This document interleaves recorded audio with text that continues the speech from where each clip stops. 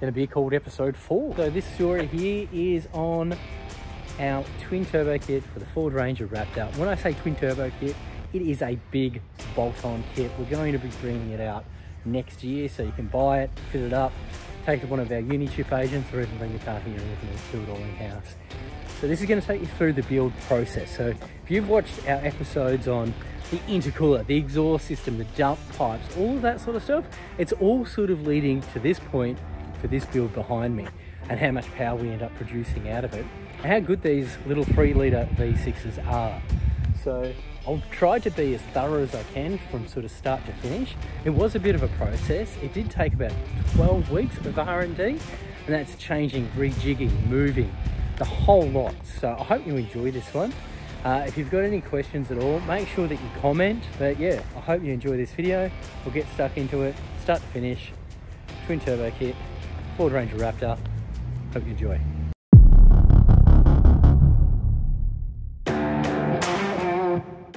Ladies, gentlemen, non-binary folks, and working out what we're going to do with the bigger intercooler.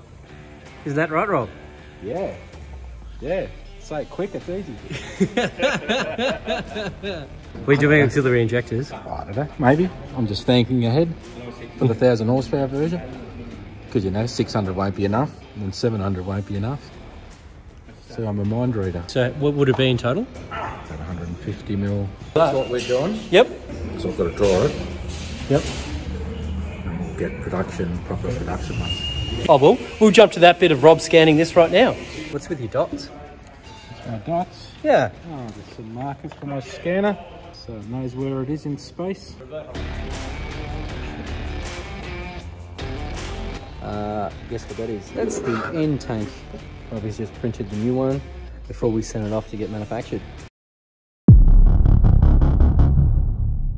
Uh, Robbie's on, on the phone actually doing some tech support teaching people how to use the Unichip. But I thought I'd sneak at the back here and just show you our Raptor Ranger because uh, some pretty cool's happening here. You wanna have a look?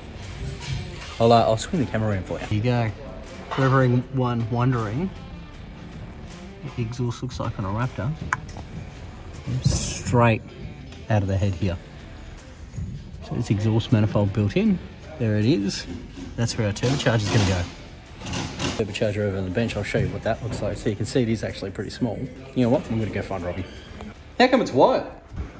That's anti-glare spray. 3D scanning, got the glare. Much nicer Oh wow. figure. How good's that? Picture. Yeah. So where are we at with it? I noticed a couple of things. One, the exhaust manifold looks like it's built into the head. Yeah, there is no exhaust manifold. It's just a single port. So obviously V6, three cylinders come out into one port. So there's no exhaust manifold as such. The turbo just bolts straight to the head. So now I'm having to go from this flange to this flange. Oh, how good.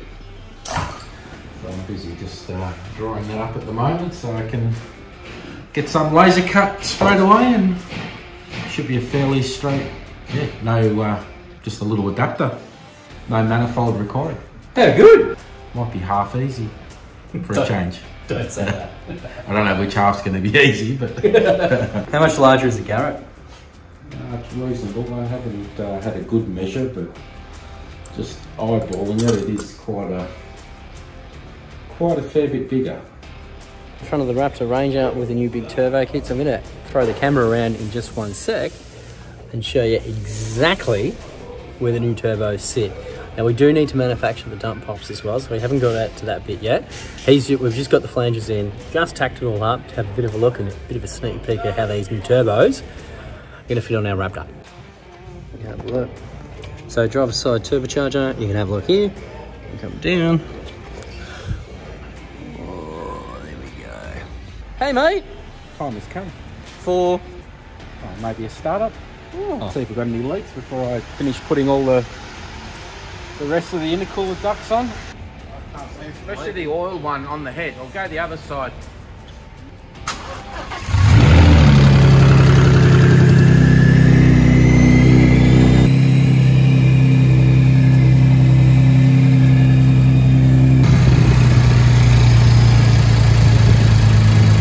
Hey guys, I thought while it's up in the air, I'd take a quick sort of, I guess, walk around of what it actually looks like uh, from underneath. So you can see our dump pipes, our intake pipes with the wheel off, give you a really good idea. So flip the camera around, have a keys.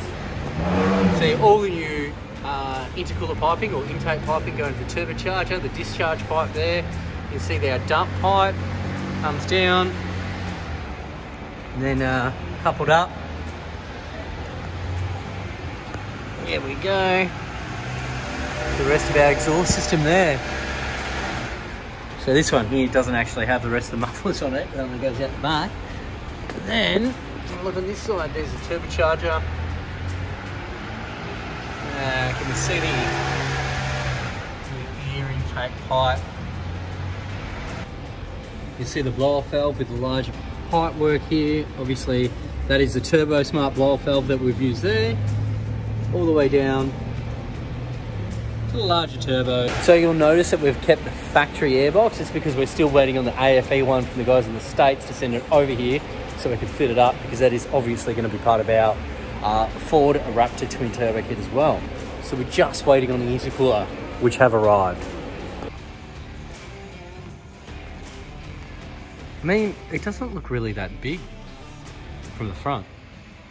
Let's just have a look how thick that is.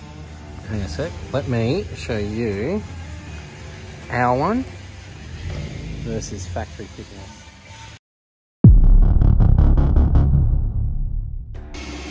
I just wanted to quickly point out our auxiliary fuel system for the Raptor. It's got one blow-off valve here, which is your Turbosmart replacement blow-off valve. And we've got the Turbo Smart race port blow-off valve down here.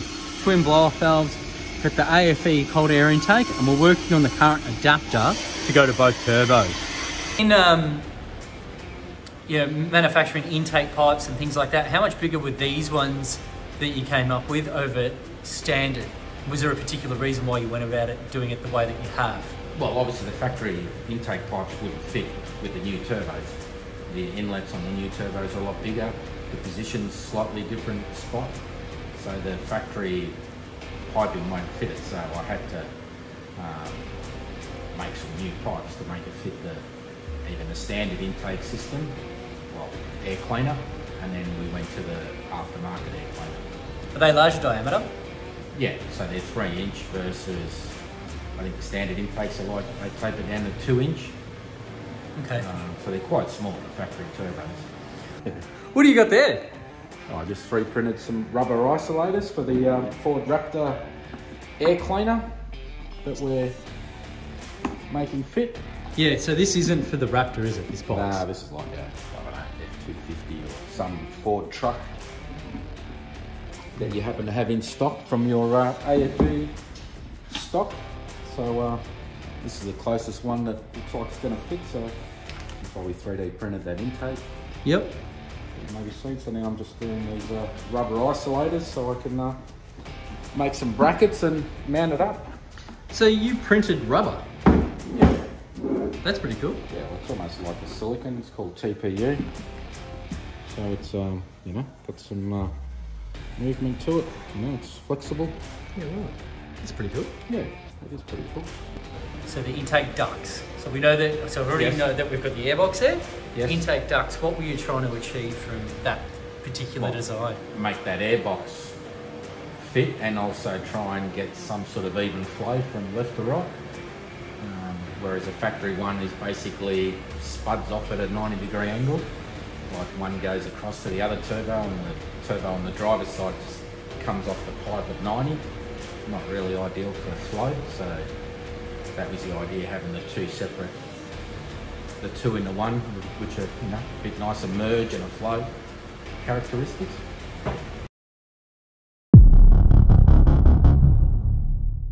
And as far as uh, oil um, supply and drain from the aftermarket turbos you fitted, is that in relative the same spot or any issues or dramas or?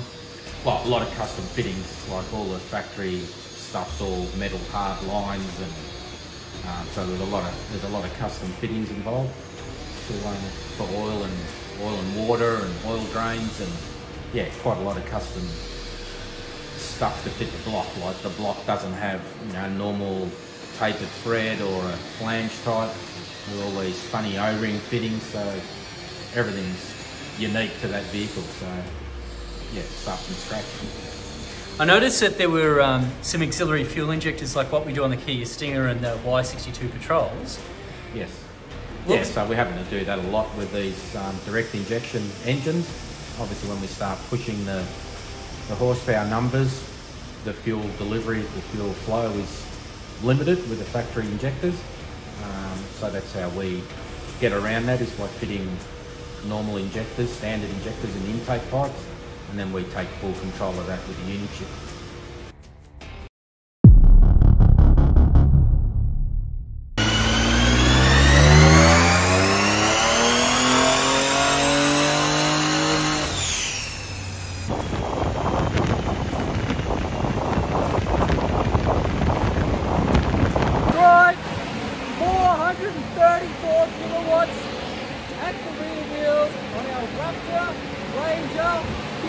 Turbo kit.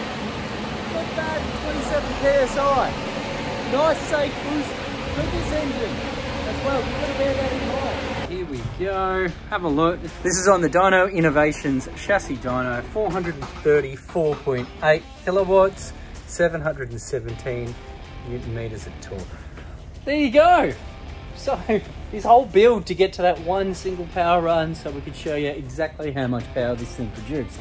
So it's 434 kilowatts at the rear wheels and it's producing torque 717 newton meters. 10 speed auto, 35 inch tires, 580 horsepower at the wheels. This is going to be a fun car to just belt around in off the road in legal conditions. Hmm, yeah, definitely don't want to be driving this thing on the road giving it a hard time. Thought I'd just rush over and say, Richo, what do you think about it all? absolute weapon, mate. And I don't think the dyno, uh, the dyno doesn't really do it justice for how it feels on the road. Uh, it's a completely different car on the road. It's super impressive. Um, we already thought they were very quick uh, without our turbo kit on them. Um, but this just takes it to a whole new level. I, um, I cannot express enough how amazing this kit is and why you should do it. So there you go, from Richo, the man himself, the bloke who tuned this one up. And uh, you, you can see obviously all the work that, and development that's gone into all the pipe work here, getting the airbox to fit, the whole lot. So to have that outcome, 434 kilowatts, we're pretty happy about it. In fact, we'll flick it to horsepower so we can have a look just to fill the yanks in on what we've done over here on our little island. Yeah, for everyone in freedom units or horsepower, uh, came in with 288 horsepower at the wheels, and now it's left with 583 horsepower, just under that 600 horsepower mark. That's pretty incredible in um, in a ute. I mean, really, how much fun is this thing going to be? About what can be achieved, you know, with some simple mods, I guess. You think it's simple or not, there's a fair amount involved. This is coming out as a bolt-on kit, so everything that we've developed can be replicated and then fitted up by your local uh, Unichip tuner. Um, they'll be able to buy the kit off us. You'll be able to buy the kit online, you know, and do it yourself as well. That is 100% coming in 2024. All right, thanks for watching part one of the Ranger Raptor Twin Turbo Kit. I do have part two coming out. We've got some more interesting products coming. And uh, obviously you're gonna have to hit that subscribe button so you can follow all of our build and everything that we're doing on this beast here. And then you can book it in and you can actually buy the products. How good is that? It's crazy. Anyway, watch this nonsense that I put at the end of the video. It's in the Dandenong Ranges. It's for the TV show Rides Down Under Workshop Wars. that will be airing in 2024. It's a little bit nice, a bit different. Cheers for watching. Remember, part two coming soon. Peace. G'day guys, we are filming our big Ranger Raptor Turbo Kit for Rides Down Under Workshop Wars airing on Channel 7 Mate in 2024 this episode, so it's going to be a summer episode 24.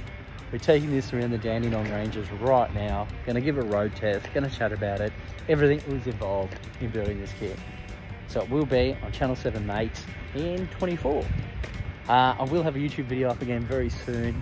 Um, not as good as TV production because mainly it's me on my phone talking to the camera like this, but it will give you an idea.